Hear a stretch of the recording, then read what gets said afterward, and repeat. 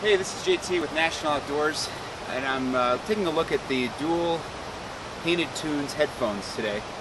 Apologize for the creak in the background. I've just been mountain biking, and uh, what I did to test these out was put the uh, couple sets of headphones in my pack here about an hour and a half ago. Went for a bike ride.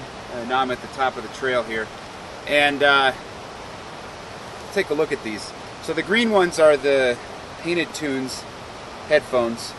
Uh, and the real selling point here is they have a little thicker cord, almost like a linguine noodle. So they don't, uh, or a fettuccine noodle, similar. Uh, so they don't uh, tangle up very easy. See how easy that was to untangle them, and now they're ready to go.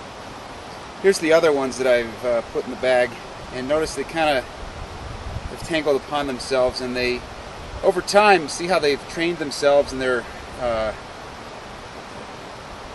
kind of stuck together more and the lines are twisted. The painted tunes stay straight. Uh, sound quality is about equal. Um, I can't really tell the difference between these and the other headphones. Um, these sell for about $19.95. You can get them on Amazon.com. If you go to nationaloutdoors.net, you can see uh, more on this review. Uh, they come with three different earpieces. One thing I did notice was you want to get the right size earpiece for these because uh, these the line is a little bit heavy and when you have them in your ear it tugs on it a little bit so you want to make sure you get the right size to fit in your ear correctly. Uh, and then you're golden everything's uh, very nice set of headphones. Great if you're into the outdoors and you want something that's uh, very durable as well as uh, easy to use you can just grab it plug it in and you're ready to go